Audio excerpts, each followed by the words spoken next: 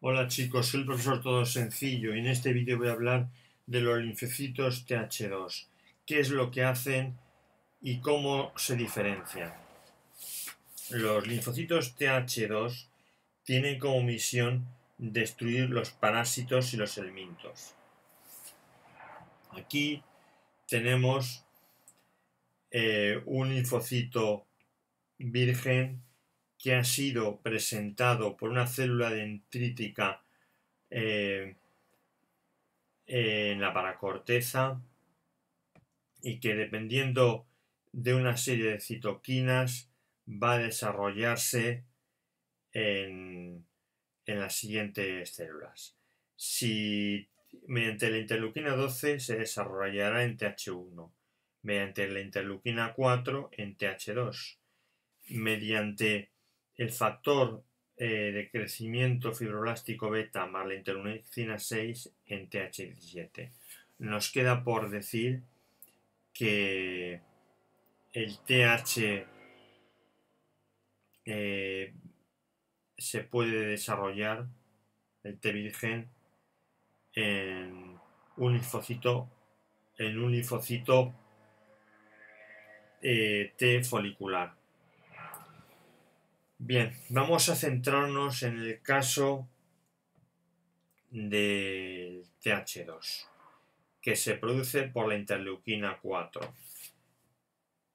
Eh, ya diremos quién lo segrega. La misión va a ser que el mastocito que el mastocito y el eosinófilo que tienen en su superficie inmunoglobulinas e, e destruyan el elemento por la liberación de unos gránulos tóxicos.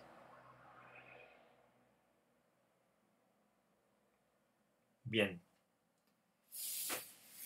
Esto va a ser lo que haga el linfocito TH2 nos queda por decir una cosa, que el linfocito T cooperador, folicular, mediante el leuquina 4, en el folículo linfoide, ha inducido el cambio de isotipo a inmunoglobulina E. A inmunoglobulina E. Aquí vemos el linfocito que está produciendo inmunoglobulina E mediante la interleuquina 4, que, además de producirla el TH2, la produce el TH eh, folicular.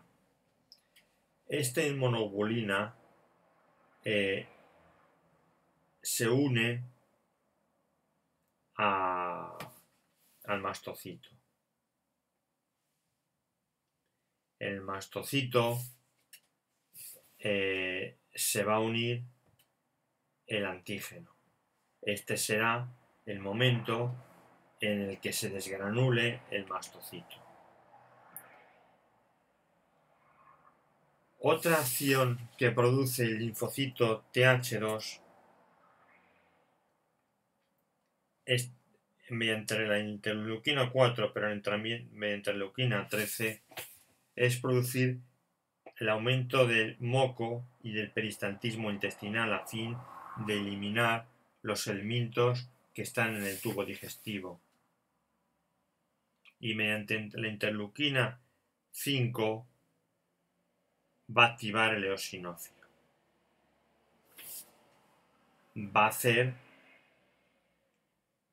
que se deposite la inmunoglobulina eh, en su superficie y que cuando llegue un antígeno se desgranule como aquí vemos y que mate el elemento.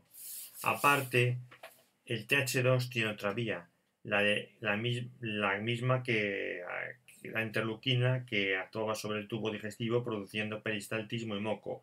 Pues la interleuquina 4 y 13 producen la activación alternativa del macrófago que se va la activación alternativa del macrófago que se va a traducir en fibrosis y reparación. Este, este es el M2.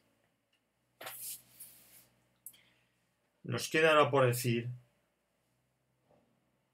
cómo se desarrollan los TH2. Pues bien, son los mastocitos, las células tisulares y los linfocitos T que cuando hay una infección endemítica segregan interleuquina 4 para activar el TH2 eh, de virgen a TH2 cuando lo presenta una célula dendrítica. Si este vídeo os ha gustado podéis darle me gusta, compartir o seguir más vídeos que tengo de esta y de otras materias. Muchas gracias.